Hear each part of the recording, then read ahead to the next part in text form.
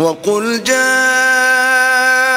الحق وزهق الباطل إن الباطل كان زهوقا اور کہہ دے حق آ گیا اور باطل بھاگ گیا۔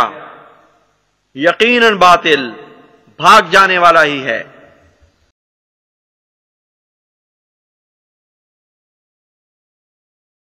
سوان فضل اس کے صفحہ نمبر ستائیس پر یہ بات لکھی ہے کہ مرزا صاحب پہلے پچاس سال تک ان کا یہی عقیدہ رہا کہ حضرت عیسیٰ علیہ السلام زندہ ہیں، آسمان پر موجود ہیں، ان کو آسمان پر اٹھا لیا گیا تھا، دوبارہ تشریف لائیں گے۔ لیکن بعد میں جب اپنی گدی پکی ہو گئی، مسیح معود بن گئے، تو پھر کیا لکھا؟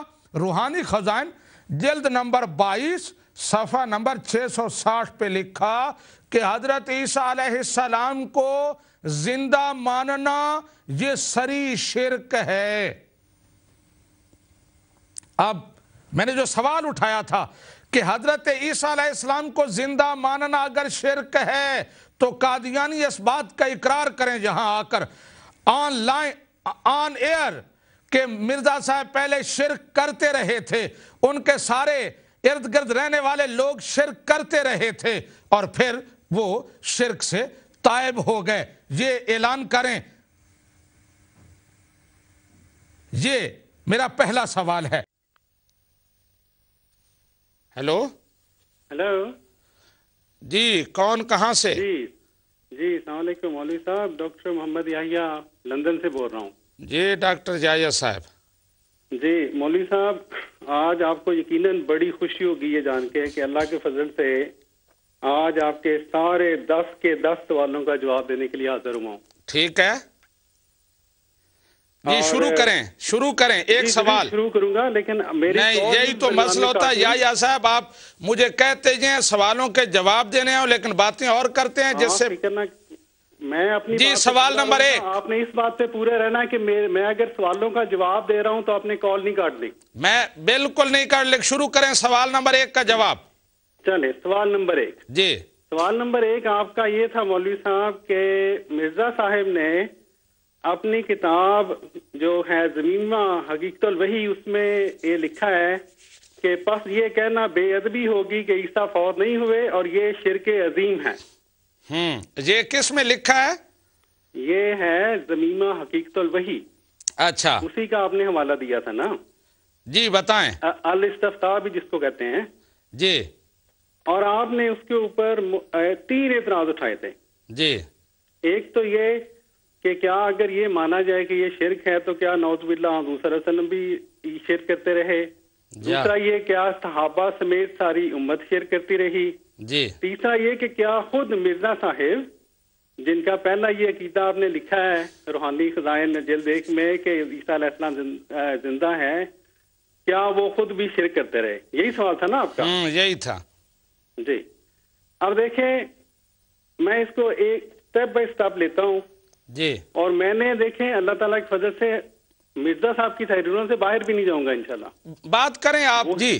جی وہی کتاب زمینہ حقیقت الوحی جس کا آج کل اردو ترجمہ میں چھپ گیا ہے اور میرا جو صفحہ نمبر ہے وہ اردو ترجمہ جو آن لائن بھی آ گیا ہوا ہے اس کے مطابق صفحہ نمبر ہے۔ سب سے پہلا سوال یہ ہے کہ کیا مرزا صاحب نے جب کہا کہ شرک تو شرک کی کوئی بتایا بھی کہ کیوں میں کہتا ہوں؟ آپ نے اسی زمینہ حقیقت الوحی کے صفحہ 124 پہ لکھا ہے کہ کیوں کہہ رہے ہیں کہ شرک؟ میں نے یہ سوال نہیں کیا یا یا صاحب کیوں کہہ رہے ہیں شرک؟ چلیں ٹھیک ہے مجھے اس کا۔ جواب چاہیے کہ کیا شرک کا یہ اطلاق مرزا صاحب نہیں ہوتا؟ پوری امت پر نہیں ہوتا مجددین پر نہیں ہوتا صحابہ کرام پر نہیں ہوتا۔ جی بالکل۔ سب سے پہلی بات یہ مولوی صاحب اسی اسی صفحہ کے صفحہ چورانوے جس کے اوپر یہ لکھا ہوا ہے کہ یہ شرک عظیم ہے اسی صفحہ کے چار پانچ لائنیں چھوڑ کے نیچے لکھا ہوا ہے۔ مرزا صاحب نے واضح لکھا ہے کہ باقی مسلمان ان کے اوپر یہ شرک لگتا ہے کہ نہیں۔ آپ صفحہ لے کے آئیں گے یا میں پڑھ دوں؟ جی پڑھیں۔ آپ نے لکھا اور اگر آپ کا کہیں پہ میرے حوالوں پہ ہو کہ میں غلط حوالہ دے رہا ہوں تو ٹوک دیں پلیز وہیں پہ۔ آپ نے فرمایا اور وہ جو مسلمانوں میں سے متقدمین ہیں ان سے یہ بات صرف ٹھوکر اور لغزش کے سبب سے ہوئی ہے۔ اچھا ان سے یہ ٹھوکر اور لغزش کے سبب سے ہوئی ہے۔ پہلے پہلے حوالہ پورا سن لیں پلیز۔ میں سمجھ گیا ہوں جو آپ کہنا چاہتے ہیں۔ جواب سننے کا شوق تھا سن لیں پلیز۔ جی۔ اچھا۔ آپ کہتے ہیں پس نادانستہ طور پر خطا کرنے کی وجہ سے وہ اللہ کے نزدیک معذور قوم ہیں۔ اور انہوں نے یہ غلطی محض سادہ لوہی کی وجہ سے کی ہے۔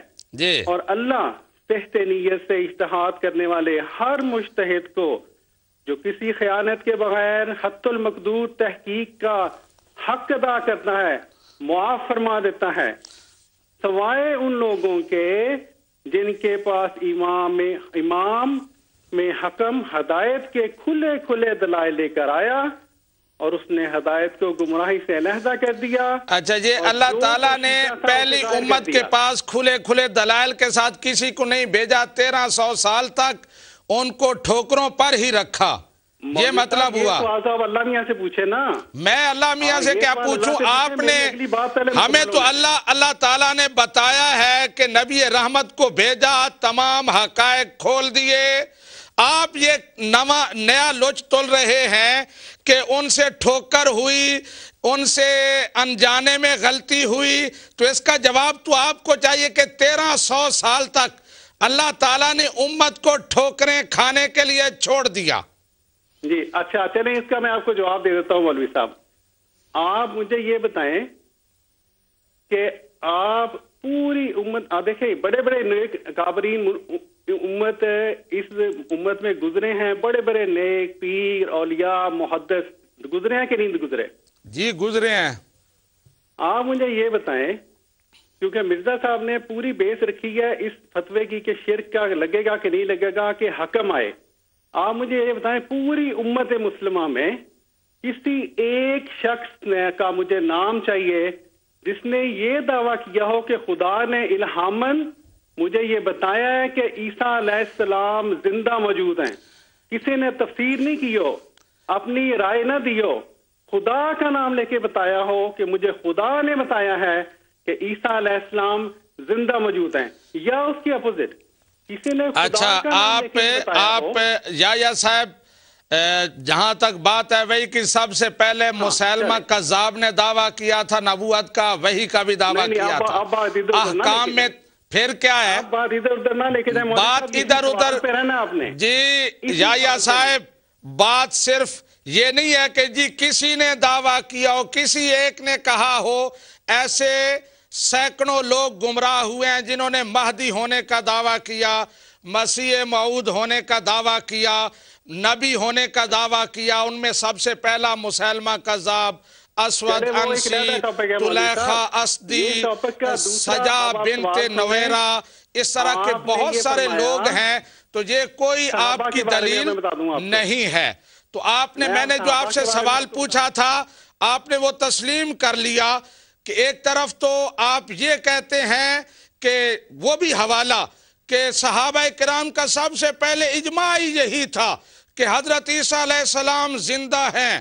دوسری طرف یہ بھی آپ سبق پڑھتے ہیں کہ وہ تو ٹھوکریں کھاتے رہے، انجانے میں ان سے غلطی ہو گئی۔ معلوم نہیں آپ کی کون سی بات سچی ہے۔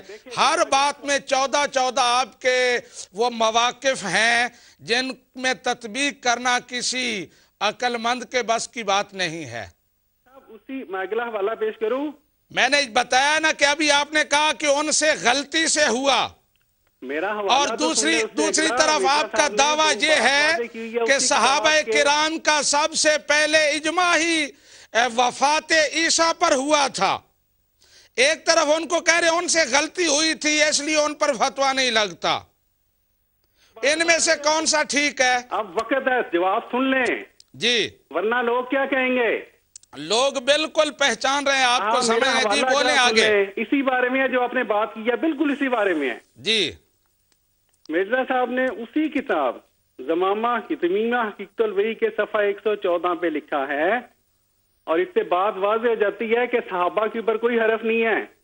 آپ نے فرمایا اور ان لوگوں کے خیالات کی کیا حیثیت جو صحابہ کے بعد ظاہر ہوئے بلکہ تین صدیوں کے بعد ان کا کوئی حق نہ تھا کہ وہ اللہ کی دی ہوئی خبروں کی ان کے وقوع پذیر ہونے سے پہلے ہی تعویلیں کرنے لگے۔ مرزا صاحب نے تو نہ حضور وسلم کی بات کی۔